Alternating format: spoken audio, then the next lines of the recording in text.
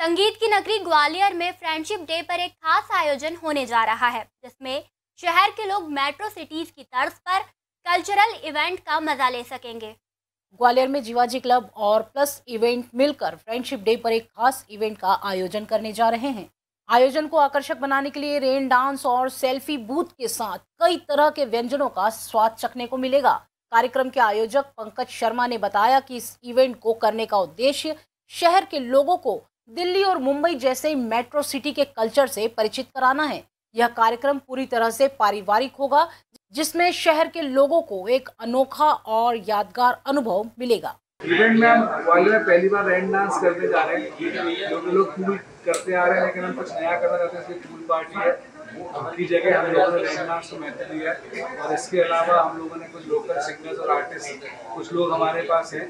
इसके अलावा एक हमारा लाफ्टर आर्टिस्ट है ग्वालियर का। है ना, उसको अभी तक हमने छुपा के रखा, हम चाहते थे। जी, निखिल कटारिया जी और अभिनंदन, पूजा, महक और विशाल, ये सिंगर्स हैं उसके परफॉर्मेंस के बीच में। तो सेल्फी बूथ बनाए, कुछ गेम्स कराए। एक लाख वॉट का साउंड सिस्टम डिज़ाइन किया है। फ़ूड स्टॉल्स करें। और कुछ इस तरह की चीज़ें करना चाहते हैं जिससे लोगों को लगे और आपके पास कोई अगर सुझाव हो इसको करने के लिए तो वो भी बताएँ।